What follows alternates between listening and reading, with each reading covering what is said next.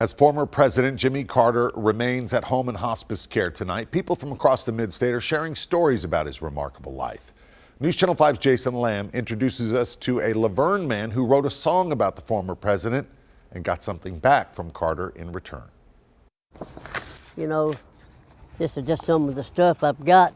Look inside this folder, and out comes a simpler time. And this was Billy and myself, uh, the Sprouts, Bobby and Billy the Sprouts on RCA. A time when Bobby Johnson, uh, with a Nashville record deal for the Sprouts in hand, Let's see what else I got. had some pretty cool friends. Jerry Lee Lewis. Great balls of fire. You know who I'm talking about? That's Elvis. Fast forward a few years, But nobody's ever, you know, pays no attention when you get old, you know. And Bobby remembers one of the songs he and Billy put together now listen to the words.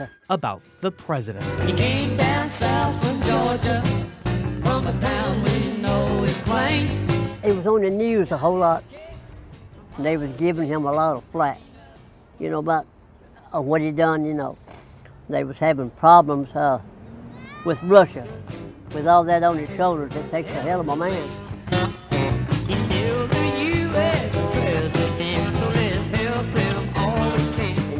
Go Jimmy, go.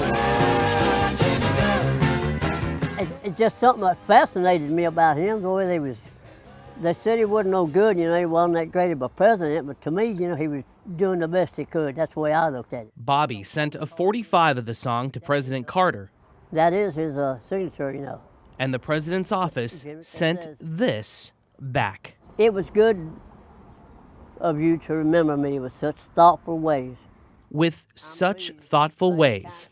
Kind of how Bobby looks back now on those days he memorialized in song.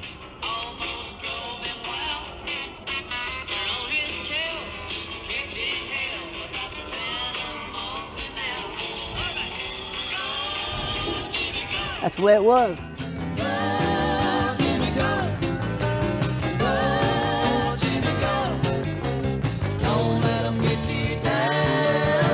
Jason Lamb, News Channel 5.